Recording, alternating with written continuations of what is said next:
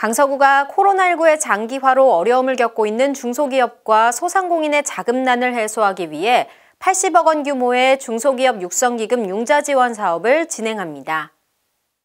지원 대상은 지역 내 공장 등록을 한 중소기업, 본사가 강서구에 소재한 벤처기업과 이노비즈, 지역 내 사업장을 두고 사업자 등록을 한 소상공인이며 신청일 기준 사업자 등록을 한 지 1년 이상 돼야 하고 매출 실적과 담보 능력이 있어야 합니다. 업체별로 최대 3억 원까지 지원받을 수 있으며 시설 자금, 운전 자금, 기술 개발 자금으로 활용하는 것을 전제로 1년 거치 4년 균등 분할 상환입니다. 특히 강서구는 코로나19 상황을 고려해 지난해에 이어 올해도 한시적으로 연 0.8%의 초저금리로 제공할 계획입니다.